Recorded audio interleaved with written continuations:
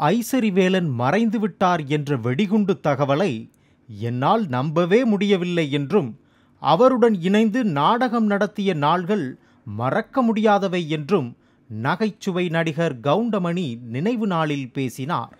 என்ன பேசுறதுன்னே தெரியல. மேடைக்கு முன்னால் இருக்கும் சகோதரர் அத்தனை பேருக்கும் மேடையிலே இருக்கும் அத்தனை பேருக்கும் தனித்தனியாக நன்றி சொல்ல முடியாது. அது ரொம்ப நேரம் ஆகும் அத்தனை பேருக்கும் ஒட்டுமொத்தமாக நன்றியை தெரிவித்துக் கொள்கிறேன். ஐஸ்வரி கணேசன் அவர்கள் இந்த விழாவுக்கு நீங்கள் அவசியம் வர வேண்டும். என் தந்தையோடு நெருங்கி பழகியிருக்கிறீர்கள் கண்டிப்பாக வர வேண்டும் என்று சொல்லி அழைத்தார். நான் வந்திருக்கிறேன்.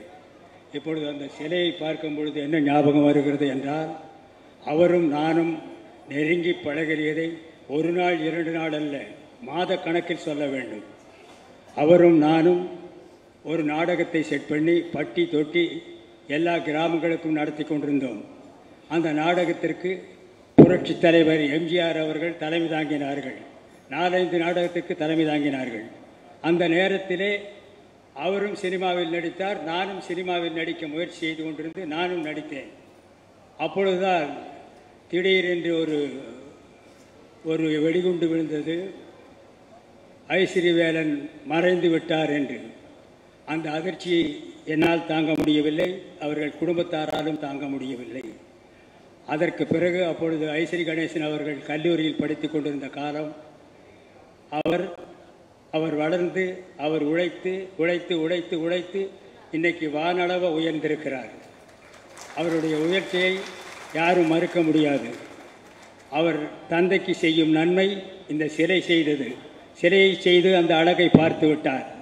இனி ஒன்றும் ஒன்று அவர் பல நன்மைகளை செய்து கொண்டிருக்கிறார் ஐஸ்வரி கணேசன் அவர்கள். ஏழை எளியவர்களுக்கு ஏழை மாணவர்களுக்கு முதியோர்களுக்கு முதியோர்களுக்கு நலிந்த நடிகர்களுக்கு இன்னும் பலருக்கும் க கண்ணுக்கு தெரியாத கை கொடுக்கும் தெரியாத நன்றிகளை தெரிவித்து செய்து கொண்டே இருக்கிறார். அந்த நன்றி தொடர்ந்து செய்து கொண்டே இருப்பார் என்று எனக்கு தெரிகிறது. அவர் வளர்ச்சி ஓங்குக வானவள ஓங்குக வேண்டும் என்று வாழ்த்துகிறேன் இன்னும் நன்றாக வளர வேண்டும். அவரை நான் வாழ்த்துகிறேன்.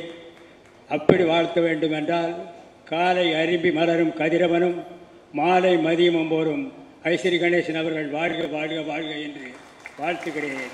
வணக்கம்.